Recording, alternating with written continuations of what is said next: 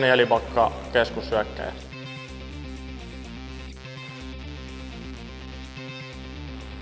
Luistelualoitukset peliä.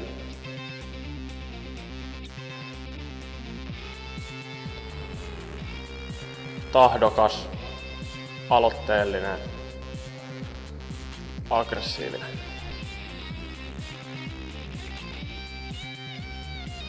Kyllä se on siivet ristikkaperunalla.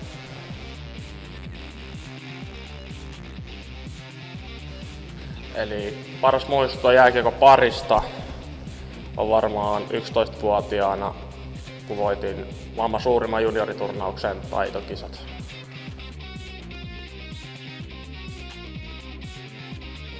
Antse Kopitar.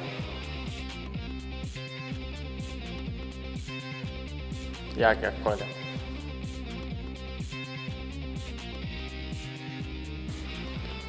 Espoo on hyvä organisaatio ja täällä saa hyvän mahdollisuuden mennä uralle eteenpäin.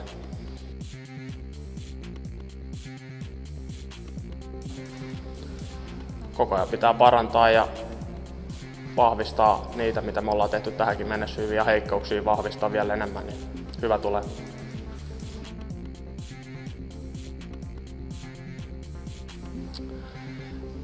Lepäilen aika paljon ja vietä kavereiden aikaa ja pelaalle pleikkariin.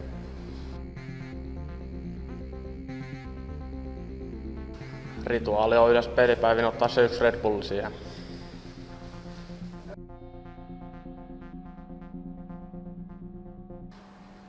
Janne Kivilahdel.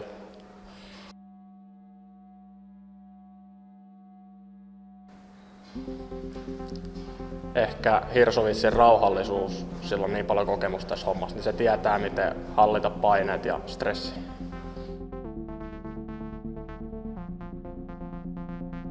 Aina pitää pelata täysin, ettei saa luovuttaa, jos joskus tulee vähän kovempi polku, se vahvistaa vaan. Tulot matseja.